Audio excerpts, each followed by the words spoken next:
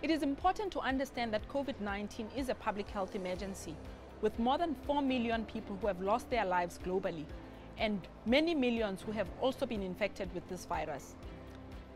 Various uh, healthcare systems across the globe have actually been strained through this period of the pandemic.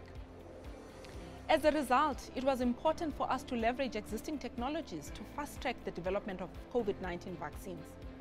This was to save lives and to relieve the burden on all these healthcare systems. So, let's maybe discuss vaccine development. Previously, we know that vaccine development took many years uh, before you know, vaccines could be commercially available. With the COVID vaccines, it was important for us to fast track uh, the development of the vaccine. The vaccine development process entails various stages of testing, which start in the lab. Once you have found that the vaccine works in the lab, then you test it in animals before you can actually do clinical trials in humans. Human trials take the form of three stages before you can actually start administering the vaccine to humans. The first phase being small studies where you are actually testing the dosing, the appropriate dosing that you need, and also safety.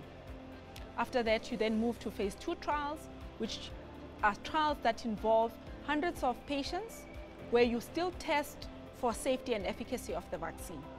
After that, you then move to multi-center trials, which are your randomized controlled trials, which are phase three trials, where you then test for efficacy of the vaccine before you can actually then register your vaccine for use more broadly. All the currently approved uh, COVID-19 vaccines have gone through these stages. The only difference is that under normal um, approval processes, once you have gone through your phase three trials of testing, then there is that process of submission and approval that is required before you can produce and distribute your vaccine.